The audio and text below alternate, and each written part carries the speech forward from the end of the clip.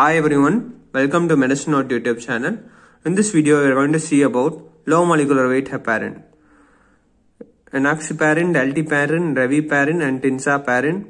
These are low molecular weight heparin. So, their molecular weight is less than heparin, which is 4000 to 7000.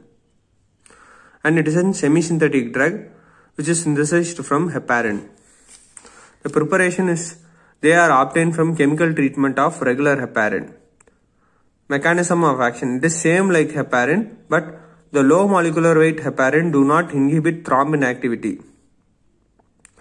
This low molecular weight heparin, like, like heparin, it does not inhibit thrombin activity, but they inhibit factor 10A. So they are known as anti-thrombin, anti-prothrombin drug. Advantages over regular heparin. The advantages over the regular heparin are more absorption in subcutaneous route, longer action which is 18 to 24 hours. In heparin we see it is 3 to 4 hours and lab monitoring is not required. We should not monitor the patient in the lab for uh, so much time.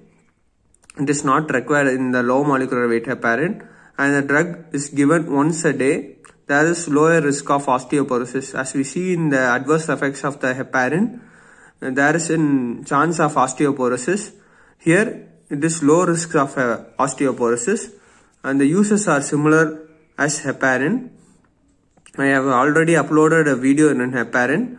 I will give an, I will give the link in the description box. Please do watch it because of the uses and mode of action. From there you can just copy it here. Thank you. For more videos, please do like, share and comment my channel. Thank you.